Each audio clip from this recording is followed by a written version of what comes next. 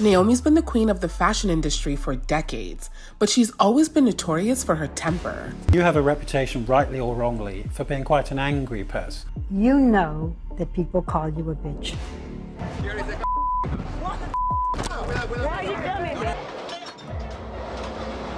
And when Tyra shared the stage with Naomi for the first time, that anger was on full display.